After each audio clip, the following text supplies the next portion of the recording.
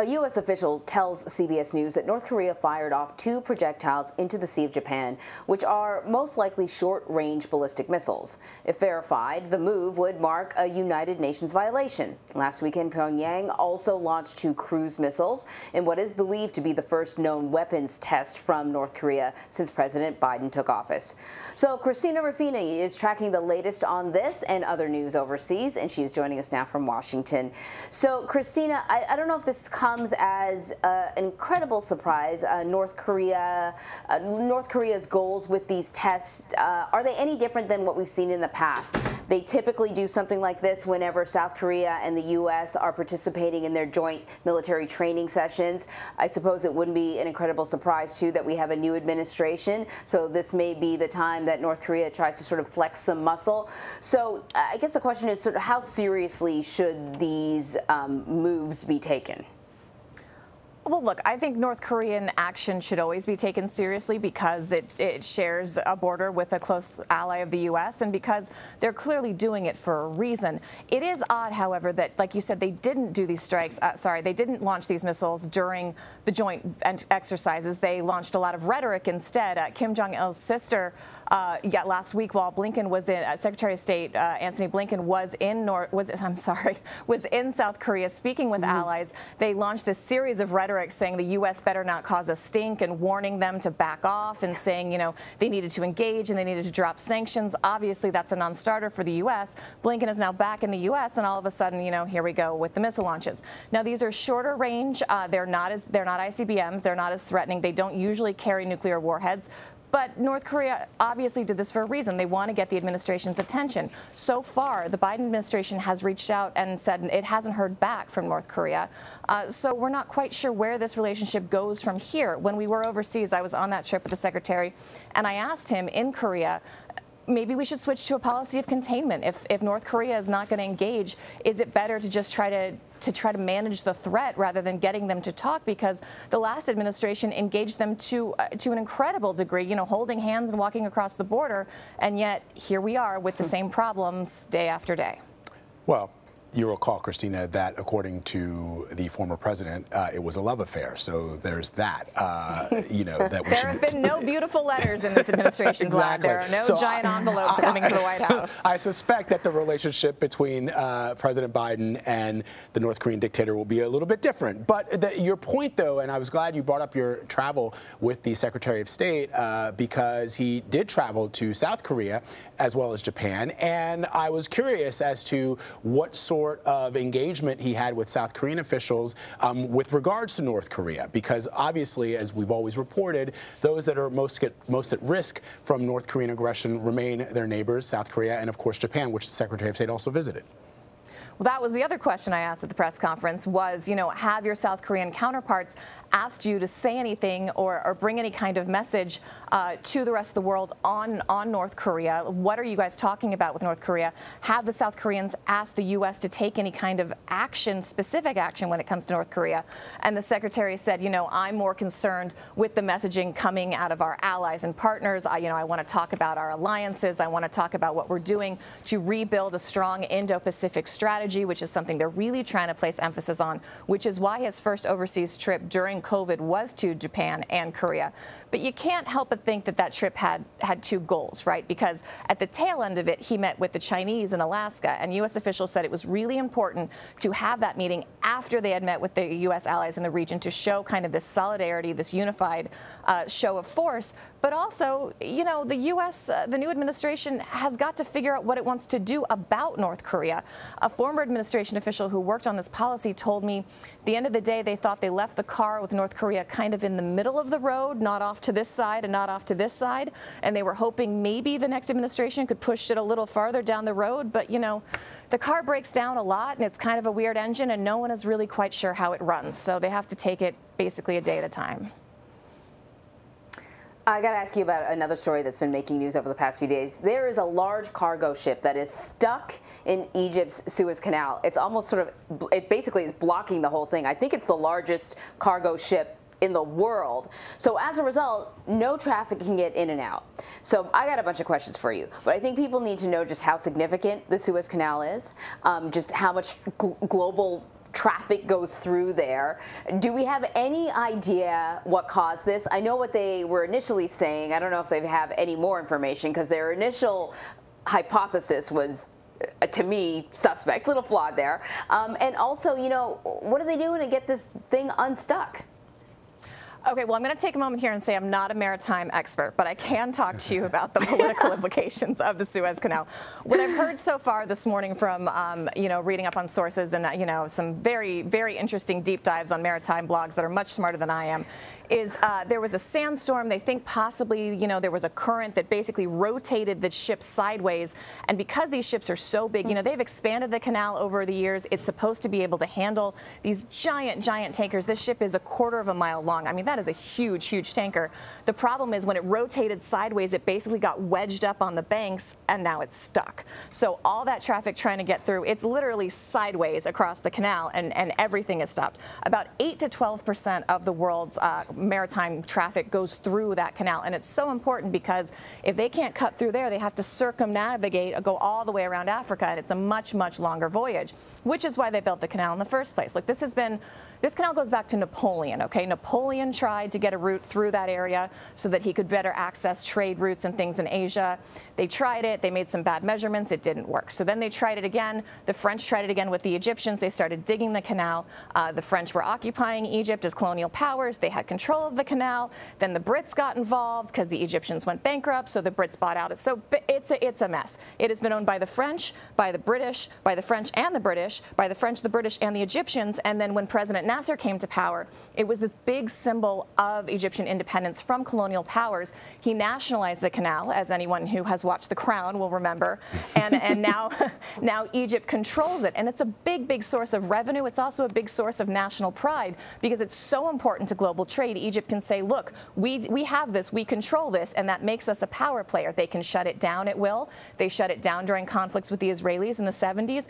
It's an important strategic choke point for the world, and, and Egypt knows that and has played that to its advantage.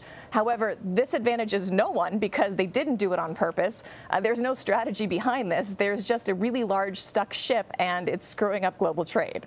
That, that uh, 1956 uh, Suez Crisis, military action between France, Britain, and uh, Egypt was was is a fascinating historical antecedent, uh, Christina, because as you know, um, this was a moment in time for the Egyptians. It led to uh, General Nasser being seen as a big nationalist hero for Egyptians, um, and essentially humiliated Britain and France, which were at the time superpowers. They still are, but uh, had never been sort of put in that position before. What is interesting interesting, too, is your point about now trade having to go around the southern tip of Africa. I don't know if we have that satellite image that shows the ship wedged in the midst, uh, in the middle of the canal there, but essentially they don't think that they're going to be able to um, the, the, ship's not going to be able to be removed for at least 48 hours, which means all of the things that travel through, all the uh, material, whether it's oil, machinery parts that generally go through the Suez Canal, will have to now go around the southern tip of Africa,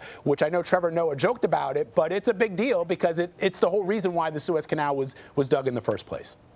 And, and lots of you know, at the time, very powerful colonial powers wanted this dug for that reason because it takes so much time off that route and it's less treacherous because you don't have to go through all those waters. You know, a, a, lot can happen in those waters between weather, piracy, all of the above. This was really, really strategic for the French. Then the Brits realized, oh no, we got to get in on this because they're going to beat us. And, and the, the, British wanted to get to their colony in India. And then that was one of the reasons that, that Nasser took it back over because he knew that this was really, really crucial. Uh, look, they're trying to get this ship. They've got to try to float it up a little bit, my understanding is, and kind of shove it back sideways. This is my very precise maritime uh, information I'm giving you guys. Um, if you saw, they're trying everything. They've got tugboats. They've got, in proportion to this ship, what looks like a teeny tiny digger trying to dig it out of the stand. They might drain some of the ballast. They might drain some of the fuel. They're working on it. But now those ship captains who are trying to get through have to make the decision whether they want to wait it out and see if they can move this ship in two or three days or whether they want to cut their losses and go ahead and embark on that longer route all the way around. And look, global trade is already messed up because of COVID, right? Supply lines are, are uncertain.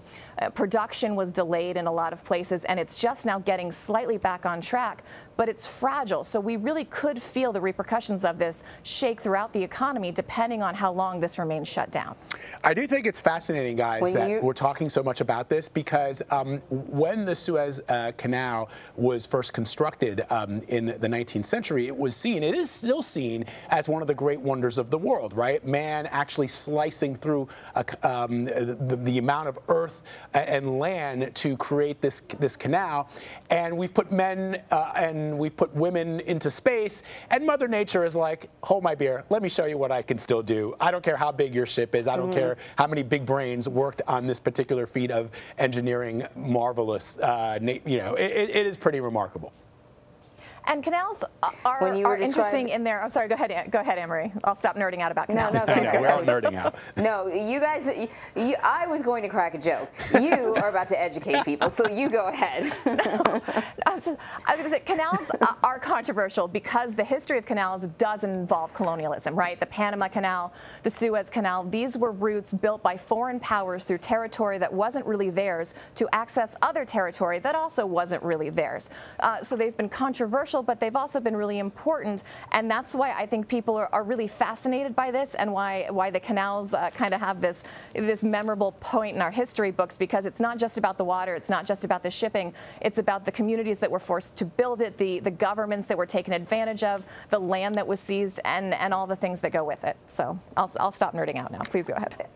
Love it. No, love I completely it. agree, and I think and I think you know the, the size of the ship is fascinating to a lot of people. It's like I think four and a half football fields long. It, it see I, what I was going to say is if you've ever seen me trying to parallel park in downtown Philadelphia, then it's probably what it looks like as they try to move this ship inch by inch back and forth. That's really um, funny. so, but we do have other things to talk to you about.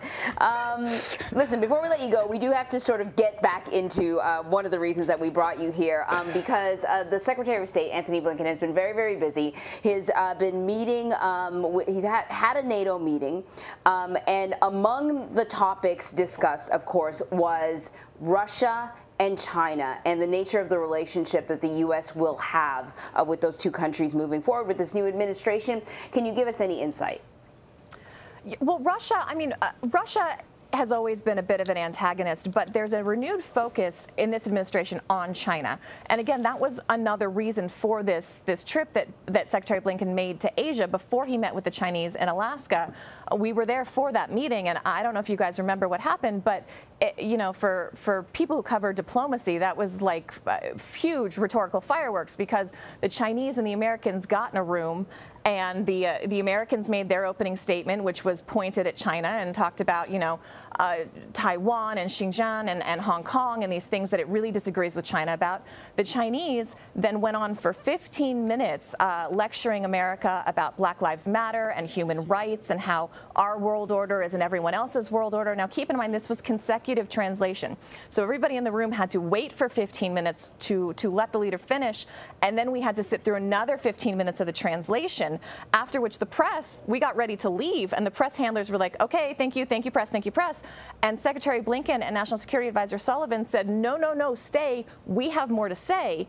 We stayed. They gave another rebuttal to the Chinese. Then the press handler said, okay, really, you can leave now. Then the Chinese yelled and said, no, we want to speak again. It went back and forth and back and forth. And it was this very, very tense meeting because both sides are trying to play out their version of what they think the world should look like. And the Chinese, as, uh, as Defense Secretary Austin has said, are the United States pacing power, right? We need to keep up with them. We need to set pace with them. And the administration is trying to set that pace. So in addition to speaking to the Chinese, speaking to our allies in the Indo-Pacific, Secretary Blinken also wanted to speak to the Europeans about, among other things, how we as united allies in NATO are going to counter them as a military force as well. You know, NATO was designed to keep the Germans down, America in, and the Russians out, is the old saying. But NATO, it's new NATO, it's a new century, and there are new threats, and one of those threats is China.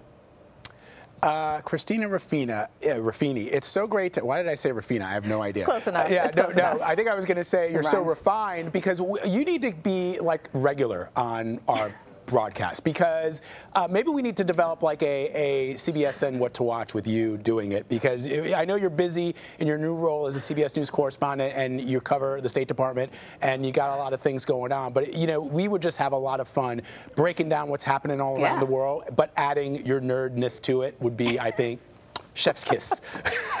Glad I'm here for you I- I- guys I anytime I'm in like the I was- country. I feel like I was in the room. Honestly, that was really descriptive.